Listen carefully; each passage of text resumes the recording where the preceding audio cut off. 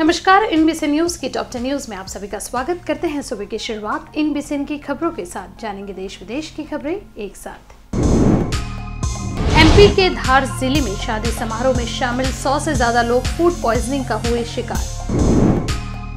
America ने धार्मिक स्वतंत्रता के उल्लंघन के लिए विशेष चिंता वाले देशों की लिस्ट की जारी मुंबई में खसरे के 25 नए मामले, अब तक 371 मरीज़ मिले।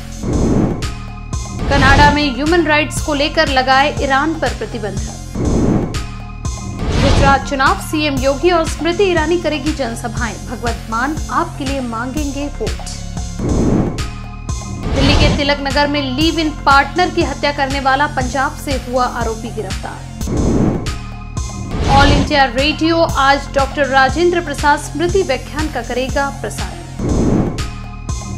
गुजरात चुनाव, दूसरे चरण के प्रचार का आज आखिरी दिन, पाँच दिसंबर को होगी वोटिंग।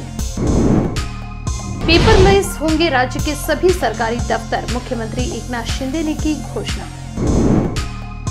और महाराष्ट्र पर्यावरण विभाग ने जारी की अधिसूचना, महाराष्ट्र में सिंगल यूज़ प्लास्टिक से हटा दिया गया बैन।